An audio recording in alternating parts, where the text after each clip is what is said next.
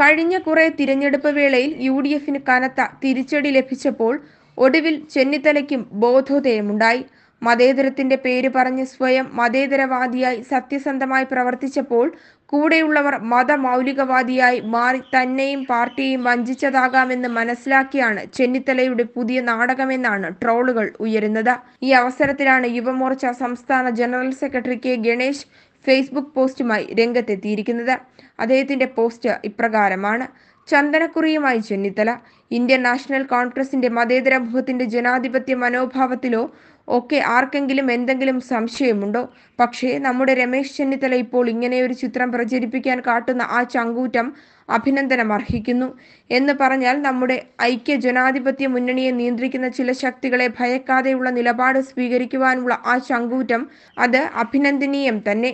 അല്ലെങ്കിൽ തന്നെ എല്ലാം നഷ്ടമായി ഒപ്പം നിന്നവർ എട്ടിന്റെ പണി തരുന്നു എന്ന് തിരിച്ചറിയുമ്പോൾ പോരാടുവാനുള്ള ചങ്കൂറ്റം ഉണ്ടാവുക സ്വാഭാവികം.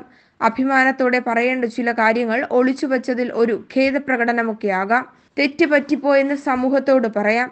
ഇനിയും വോട്ട് ബാങ്കിന്റെ താളത്തിന് തുള്ളാതെ ഒരു നല്ല നേതാവാകാൻ പരിശ്രമിക്കുക. എന്നാലും ഇപ്പോൾ ഇങ്ങനെ കാണുമ്പോൾ ചെറുതല്ലാത്ത സന്തോഷമുണ്ട്.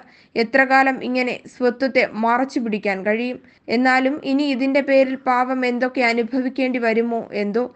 ഇതായിരുന്നു അദ്ദേഹത്തിന്റെ പോസ്റ്റ്. അതെ ആ പണി നടക്കില്ല. ചന്ദനക്കുറി തൊട്ട് പുതിയ പ്രവർത്തന ശൈലിയുമായി ചെന്നിത്തല ഇറങ്ങുകയാണ്.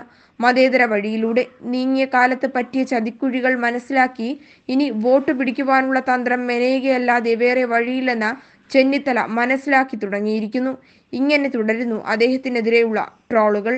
News desk news day Malayalam.